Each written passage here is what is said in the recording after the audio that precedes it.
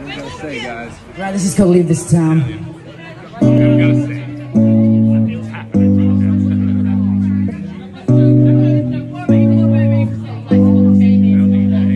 My father always told me not to go. Wanted to be free, but he said no. I wanted to go back where I came from. To a town I thought that I belonged. I was young and maybe I was wrong. Keeping me on my toes for so long.